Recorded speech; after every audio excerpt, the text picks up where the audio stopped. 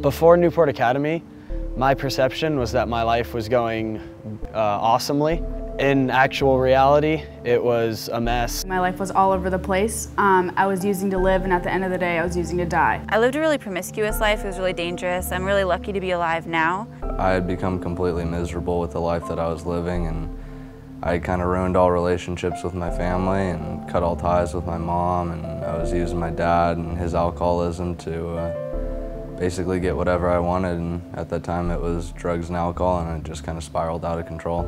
I was in and out of motels and trailer parks and just not hanging out with the right people. My life a year and a half ago consisted of using every day, um, drinking every day, degrading myself in many ways that that people shouldn't do to themselves. I was seeing a drug and alcohol counselor um, once a week. He was telling me about it. It was starting to sound very appealing because I was at a very low point in my life.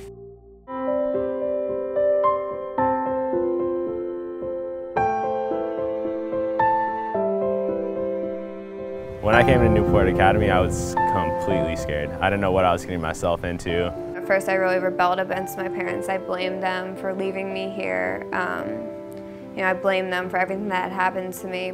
I was terrified when I entered the doors of Newport Academy. Um, I didn't know what was going to happen. I didn't know who was going to be there. I didn't know if I was actually going to get help or if it wasn't going to work. I really wasn't in a place where I felt like I was going to change. I was stubborn and I didn't believe it was even possible for a person like me to live a better life.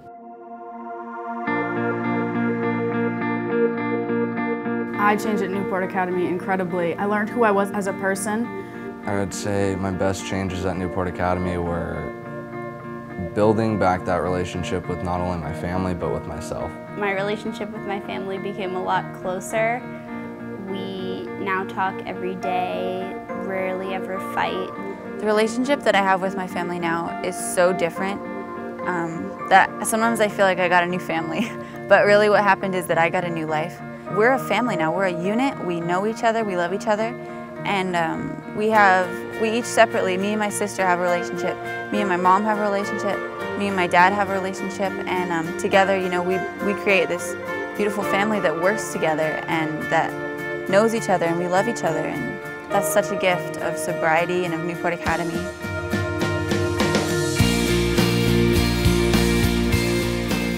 Staff at Newport Academy are awesome people. They're people that I can still go to now. They're people that help me find who I am and they help me find sobriety. So I owe a lot to the staff at Newport Academy, I really do.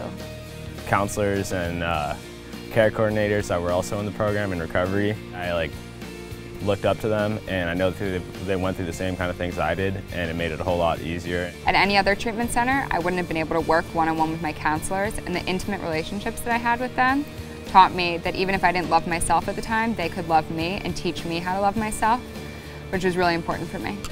They showed me that you know, you could live a sober life and you could still be happy. And that's what I always wanted. I just wanted to be that happy kid. From my personal experience, I was using drugs like meth, heroin, prescription pills, and uh, I never thought I'd get out of it, to be quite honest. And uh, this place changed my life, for sure.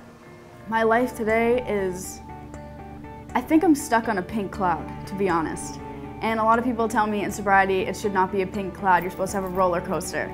Honestly, my life today is absolutely incredible. Um, I have amazing friends that are always there for me. Um, if I'm going through a hard time, I can pick up the phone and someone will always answer. My life today, it's cliche, but it's beyond my wildest dreams. Today, my life is beyond my wildest dreams. I had no idea I could live a life like this. Um, I imagined being sober would be boring and uneventful, but I have some of the funnest times I've ever had in my entire life. Today I attend NYU in New York. Um, I have a 3.5 GPA I have a full-time job. Today my life is what most people would consider a life, which previously wasn't true. For any teens considering Newport Academy, um, all the advice I'd have to give is don't be offset by um, the word rehab. Um, it's one of the kindest environments you could have. You have people looking after you and um, it's one of the best changes you can make in your life. It's an amazing place. Um, the people there are so kind and loving and make you feel comfortable right as you enter the door. And it's like a family here. It's not just a rehab. They pick out their staff very carefully, making sure that they, you know, they really care for the kids. And when I first stepped in, it's like these, these care counselors, these CCs, and these staff members, they, they would love me immediately. Even though I, I, I wanted no part with them, they would love me immediately. Today, I've been sober just over three years. My sobriety date is June 24th, 2010, and I have two years of sobriety. I've been sober for two and a half years. I've been sober 18 months. I've been sober about eight and a half months now. I've been sober about 14 months now. Newport Academy showed me that my life was mendable, that I was mendable, and that um, there was hope for me. Newport Academy definitely saved my life.